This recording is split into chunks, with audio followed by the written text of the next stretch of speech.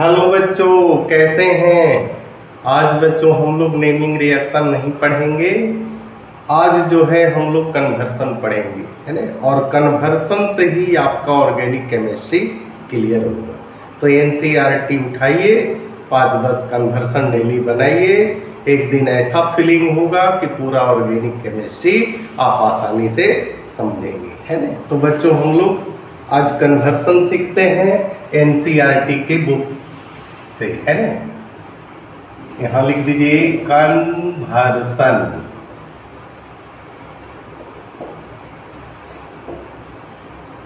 सबसे पहला है बच्चों, क्लोरोबेंजीन।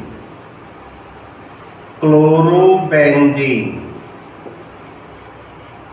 तो फिनॉल।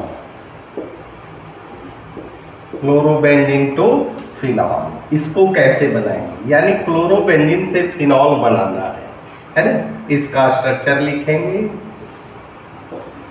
ए हो गया बच्चों क्लोरोबेंजीन इसको बीच में ऐसे भी लिख सकते हैं, नहीं तो अल्टरनेट करके डबल बॉन्ड दे सकते हैं। है ना? यहाँ जोड़ेंगे सी एल इसको बेसिक मीडियम में, यानी एन ए ओ एच से रिएक्ट करना है। है ना?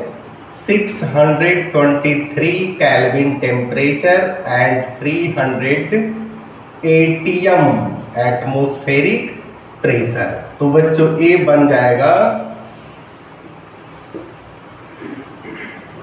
क्या बन जाएगा?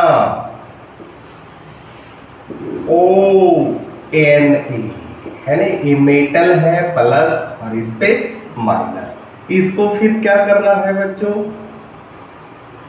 हाइड्रोक्लोरिक एसिड में प्रवाहित करना है, यानी अभिक्रिया करवाना है तो सोडियम और क्लोरीन निकल जाएगा, क्योंकि ये दोनों इस पर प्लस चार्ज इस पर माइनस चार्ज डेवलप करेगा, जब वही बॉन्ड ब्रेक करेगा, है ना?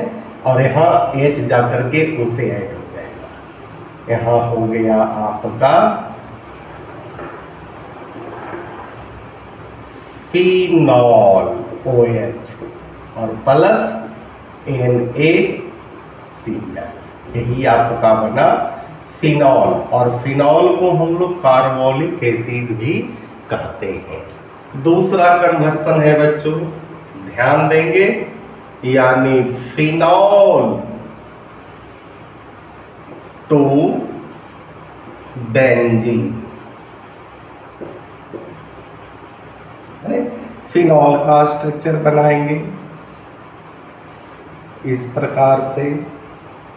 इससे क्या होगा कि ऑर्गेनिक कंपाउंड का नाम भी आपका क्लियर होते चलेगा। ये फिनॉल हो गया। फिनॉल इसको जो है कुछ नहीं करना है। जिंक, डस्ट से अभिक्रिया करना है। डस्ट क्यों लेते हैं? सरफेस एरिया ज़्यादा कवर करता है। रेट ऑफ़ रिएक्शन उतना ही अधिक होगा। है ना? और ये बना लेगा जिंक का काम है ऑक्सीजन को खींचना, है ना? और यहाँ सी सिक्स एच सिक्स हो गया प्लस जेड एन ओ इसका नाम है बच्चों बेंजी है ना? इसके बाद propene propene to propane to और यानी प्रोपेन नाउ प्रोपीन का स्ट्रक्चर बनाते हैं बच्चों सी सिक्स एच सिक्स होगा, यानी C H three C H double bond C H two इसको कुछ नहीं करना है, इसको वाटर से हाइड्रोलाइसिस करना है ना?